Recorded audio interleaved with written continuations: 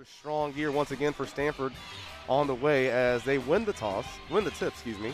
And Cameron Brink going to go to her left and put it up with the left hand. Morgan State team, and she should have her way inside today. In program history. Kiana was a second round pick in Seattle. There's a turnover. Maybe with the specialty, as you just mentioned, is there some good defense? Add to that game. Lexie, nice pass to Cameron Brink running the floor for two. Nicely executed. And you always reward your bigs when they run the floor. Finds Taylor Addison. Going against Brink. No easy task. Cameron Brink smothers it. Record. And John.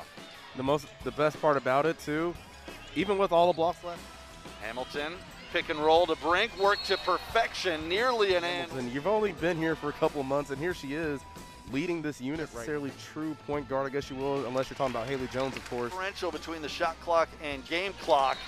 Cameron Brink teams can't shoot above 40% against them. And how about that, 6'5 to 6? Uh, we will have a timeout call. The drive from Red and Cameron Brink has nothing. Of the day.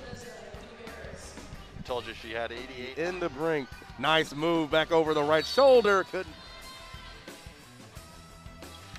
Season opener. The final score.